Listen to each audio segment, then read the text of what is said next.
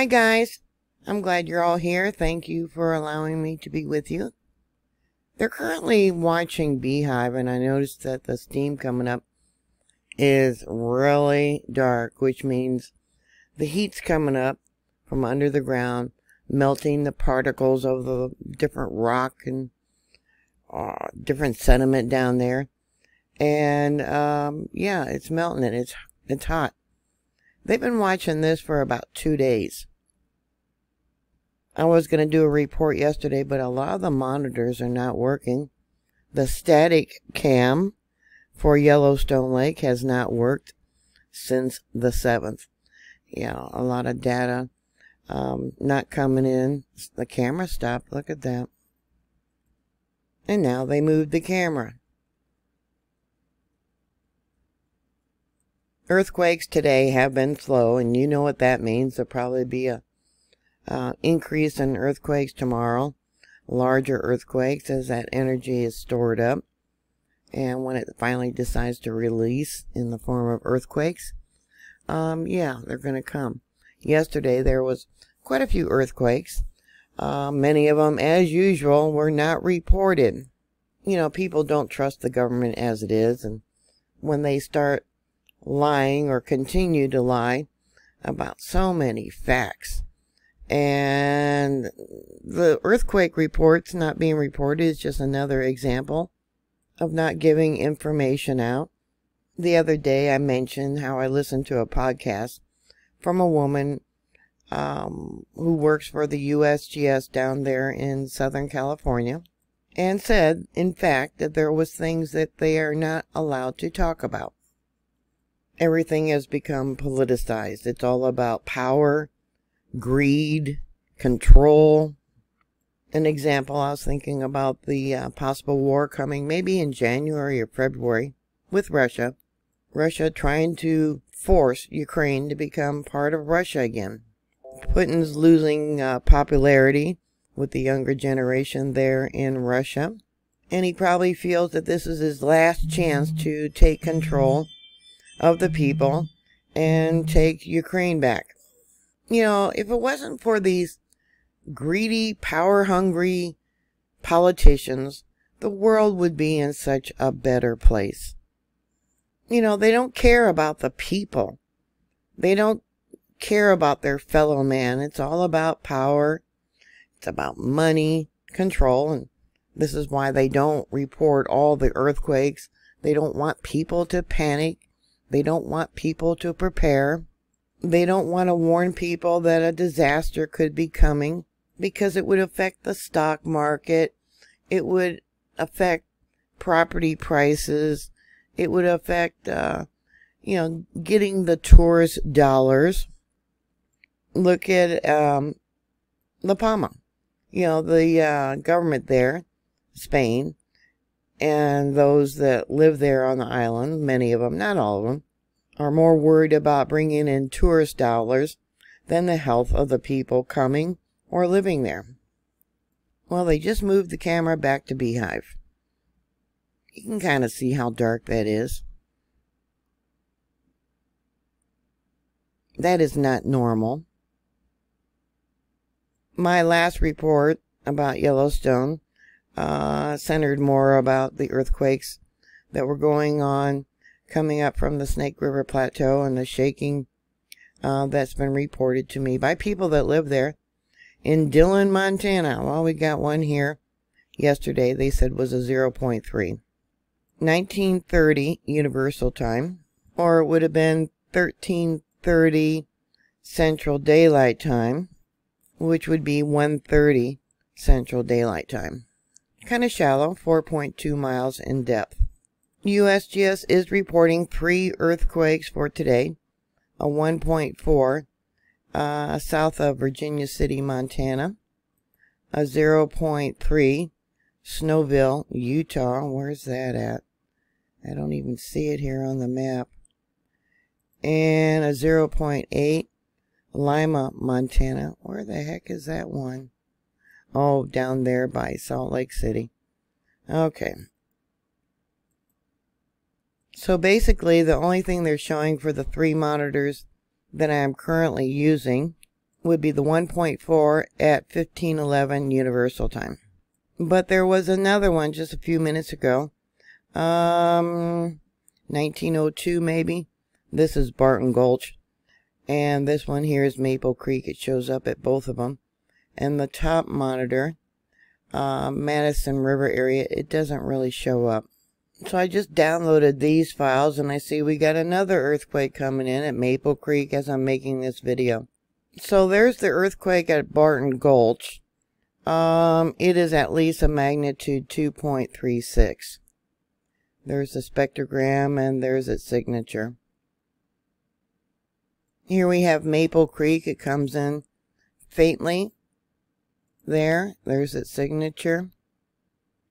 And I get a reading of 2.37. Doesn't matter where you take the reading, long as you have the entire seismic wave of the earthquake, um, you can figure out what the magnitude of the earthquake is. So this earthquake that's just now coming in for Maple Creek, we might have another slight one coming in. Looks like two earthquakes. Let's extract that. Yeah. Yeah. That's what it looks like. There's that first one. And let's zoom in. We can maybe break it down a little bit better. Pull that over for you. Notice here how this one here at Barton Gulch is a little bit larger. So, um, than Maple Creek. Yeah, if you thought you felt one a little while ago out there in Dillon, Montana, you probably did. Alright, Barton, Barton Gulch, Montana. They got a couple in red. And as I reported um, in my last video, what we currently have going on is the uh, the uh, Trans Challis fault system has become more active of late. That's that green and yellow line drawn out there. The monitor that I'm using, let me see if I can find it, is this one right here. I wanted it close enough to um, the fault zone and yet close enough to Yellowstone, which, yeah, I got a lot of notes here. Um, yeah, the black lines let me bring it back out. The black lines is the uplift area. That's how the, the distance of the uplift of the ground because of the recharging of Yellowstone. That's that heavy black line. And that's the monitor that I'm using, that one right there. And this is the Trans Challis fault zone. And I'll show you how close it is to Dillon, Montana yeah, so they, they probably, you guys probably felt that earthquake. Yeah, there's Dillon, Montana. And come back out.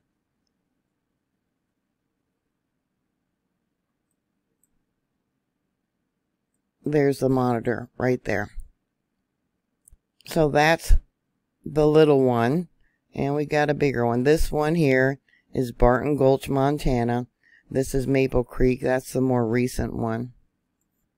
And that little one, once again, comes in as a magnitude 2.36 or maybe a 2.37. You can see it down there at the bottom. But other than that, it's been quiet. Um, other than these ones in Barton Gulch. Yeah, look at that. We got popping of the rock right there. Those are marked in red.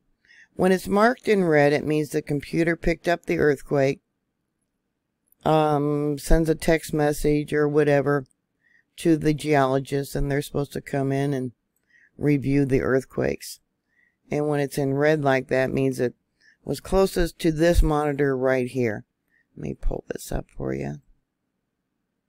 Alright, we'll look at the spectrogram. Yeah, we'll go a little bit further ahead until we get to the red. There's the red, marked in red, marked in red there too. And let's go over here. Yeah, my phone's ringing. Alright, I'm back. Sorry about that. I got two phone calls. And they're back to looking off to the distance. You know, what I noticed this year is there is hardly any buffalo in the park. And I reported, oh, what was it? October, September, I forget, how the buffalo were leaving, migrating out of the park early. It was early this year. Well, evidently, because of that, they're going to kill 900 buffalo. Um, some of them they're going to put in pens and um, test them for diseases. But 900 buffalo or bison they're going to kill because they're leaving or, or have left the park onto private lands. And they worry that brucellosis will be spread to the cattle, which causes um, the mamas to abort their babies or have stillbirths. And then they worry about overgrazing on these private lands, causing possible mass starvation of other animals. Well, you know, it's not just the buffalo that have left Yellowstone. They're not going to hunt the buffalo that are inside the park, only the ones that are leaving. 900 of them. I don't know how many they got in the park, but I have not hardly seen them at all on the live webcam at Old Faithful. Anyways, going back to the earthquakes in Yellowstone, I changed it to seven days for the past week. 66 earthquakes in the last week. I want to look at um, what they had yesterday. Let's see, there was quite a few yesterday. A 1.2.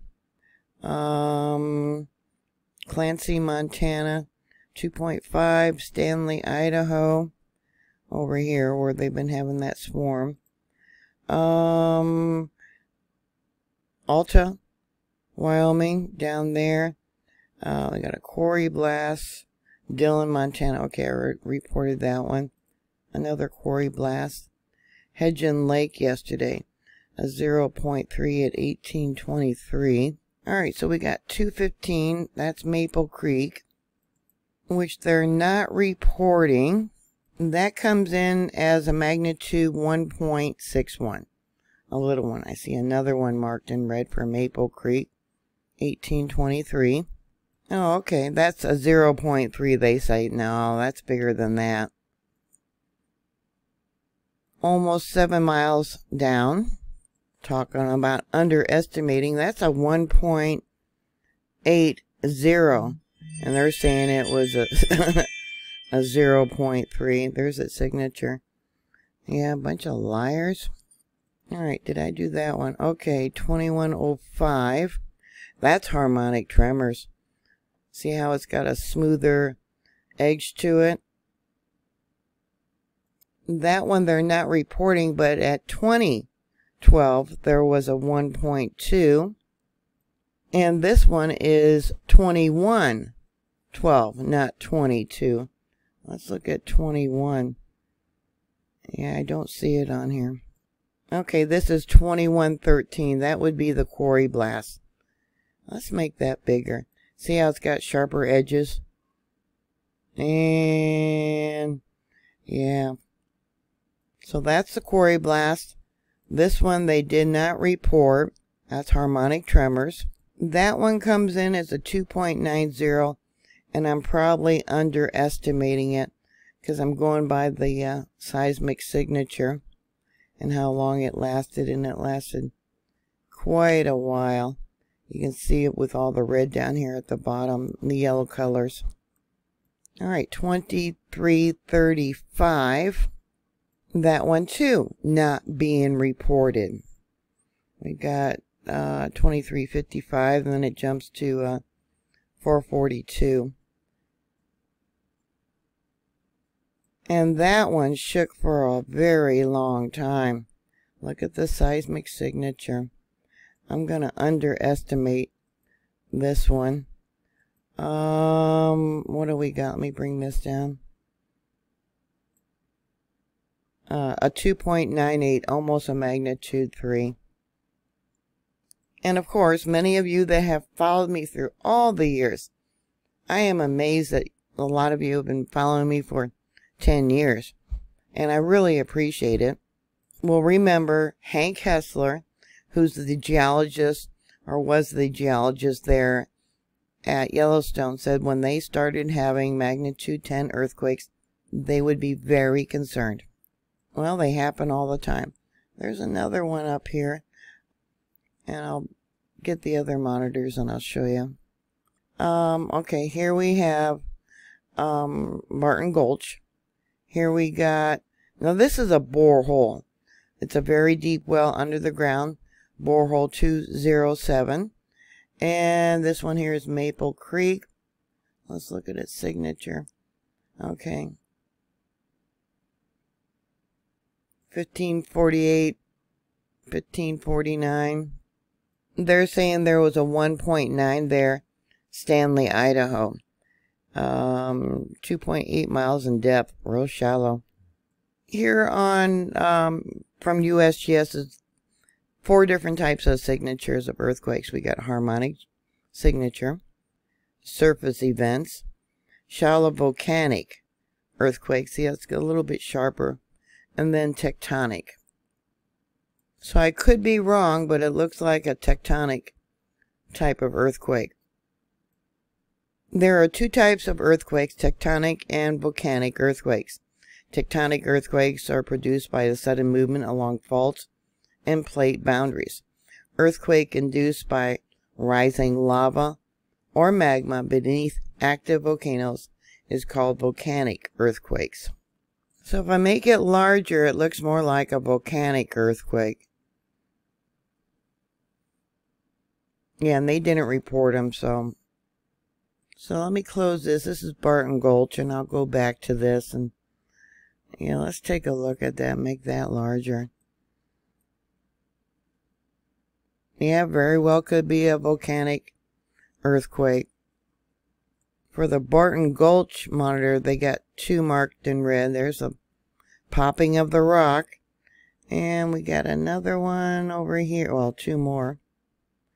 Yeah, another earthquake there. 2157. USGS says that was a magnitude 2.5. Stanley, Idaho. There was actually two earthquakes. Alright, let's try and, yeah, let's try and do this one. A long seismic wave on it. Yeah, 2.60 is what I get, 2.60. But I might have measured the seismic wave a little bit too long. Let's try and shorten that. I'll use the spectrogram. No, no, cause see, before it even goes blank, I'm going to stick with a 2 point, well, I got a 2.59. Um, yeah, I'm going to stick with that. Yeah, so it was either a 2.60 or a 2.59. They rounded it down to just a 2.5. Left off the little point. And we got another earthquake coming in. Yeah, this one was showing when I first started to do the video. Shows you how long it takes me to do a video. And we got two seismic signatures there, but um yeah, again, this is Barton Gulch. Yeah, that would be close to Stanley, Idaho. Dillon, Montana. Anyways, yeah, it's almost uh, a 20 minute long video. I'm going to end this and uh, wish you all Merry Christmas. Happy New Year. Thank you very much for watching. Don't forget to put a comment down so YouTube doesn't think you're a bot and unsubscribe you. And uh, as always, please stay safe and I'll talk to you later. God bless y'all. Bye.